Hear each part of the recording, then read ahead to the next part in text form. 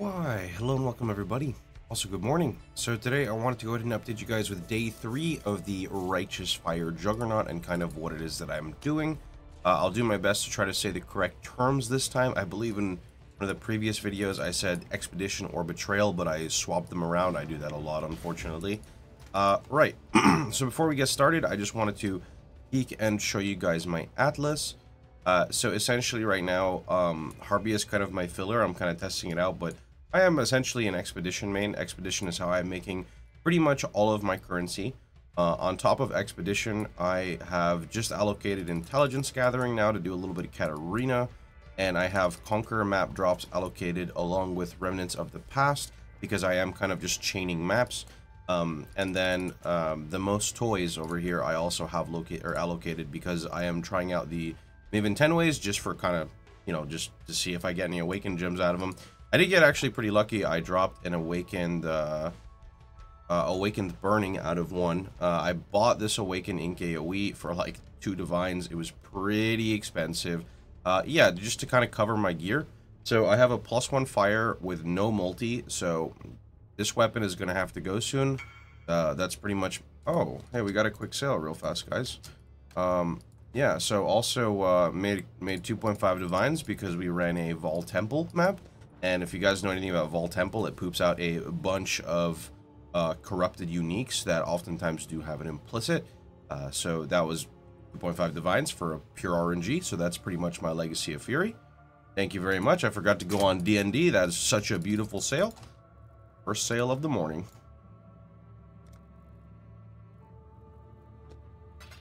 10, 20, 30, 40. Oh boy. And then where the divine. Oh, okay. Thank God I didn't want to have to do math. All right, now we can go on uh, D&D. Wow, what a beautiful sale. I can't believe people buy stuff like that. It's crazy, but I guess it makes sense, right? It does It does make total sense. All right, so, um, yeah, so let's talk about our gear. So our weapon is lacking multi. Uh, I am desperately lacking multi on my build. Uh, and the reason I know this is my weapon doesn't have multi, my amulet doesn't have multi, and none of my jewels have multi. So, and I don't have Breath of Flames yet up here, or, uh, yeah, which is multi. All right, uh, moving on a little bit more. So I have a minimum frenzy ring I got a while ago. I really like it. It's lacking resistances massively, but it's got a good life roll and a prefix open for increased damage.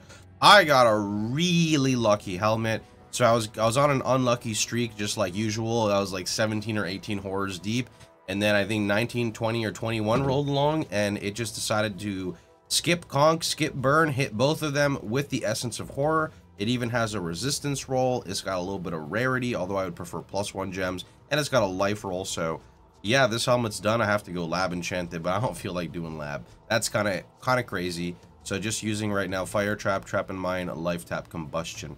Uh, amulet, still the same amulet from earlier into the campaign. I really want to get a dot multi and or a plus one base. Saffell's Frame, very happy with the shield. Extremely good for ele res. Very good at bringing up our max res.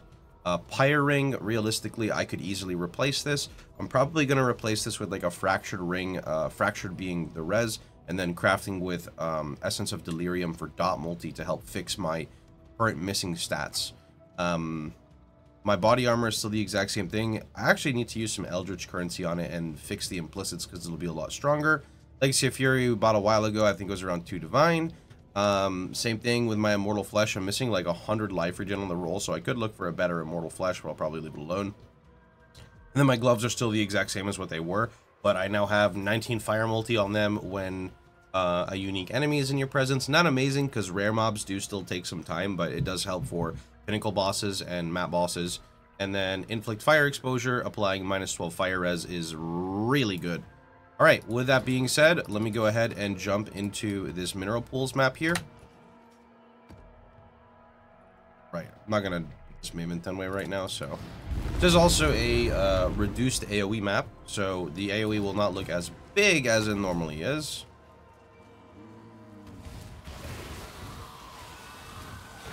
Now, normally, uh, the the spot that I am at right now, this is kind of where I would decide if I want to keep Unyielding, which is the Endurance Charge Ascendancy, or drop it for Unstoppable.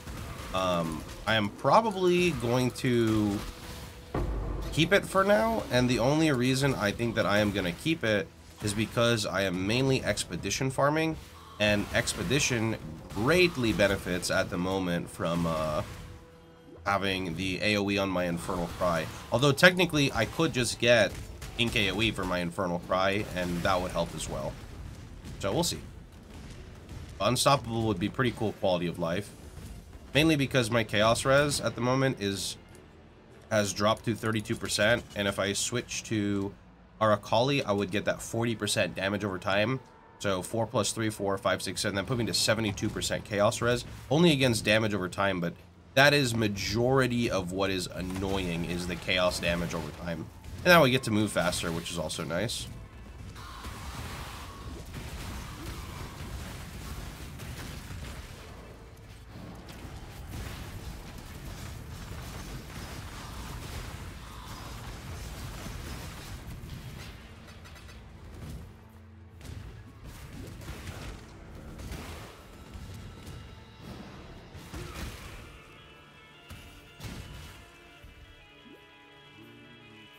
Ever mention I hate this map? I don't know why I decided to run it.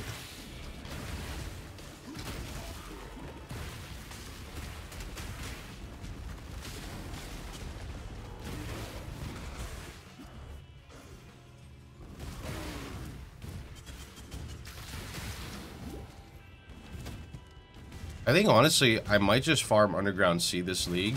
But I'm really curious about, so there's a new Divine card that drops, and it drops off of Drops off of Merveil in her second form, to my knowledge. So that would be this map. This map I know it drops off of for sure because I have killed the boss and gotten the new Divine uh, Divine card. Um, sucks I didn't get an Expedition. But uh, I'm curious if Underground Sea is the same thing. I think Underground Sea is pretty good for Expedition. And in general, I just like uh, Underground Sea as a map. It's very dense. It doesn't have all these weird, like, I don't know what it's called, weird crevices, I guess.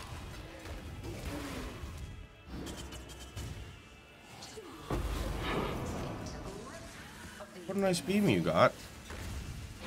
Thanks. Monstrous treasure craft received. Ooh.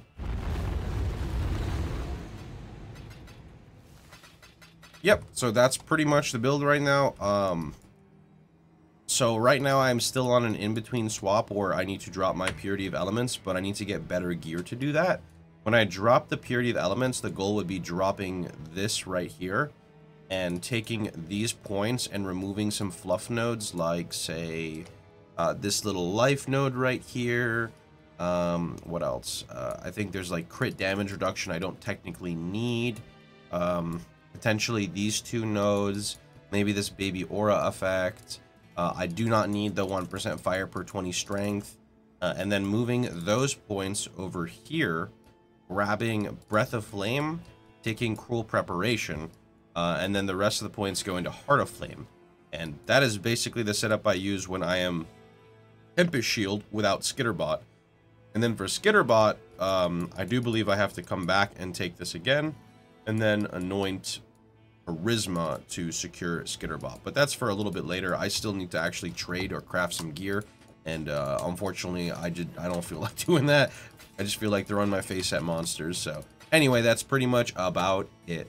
So, hope you guys had a, wonderful time. Hope you guys enjoyed yourselves. If you did, please feel free to like, share, and subscribe. And don't forget, you can catch me streaming live every day at twitch.tv slash Pohx. See you guys all tomorrow.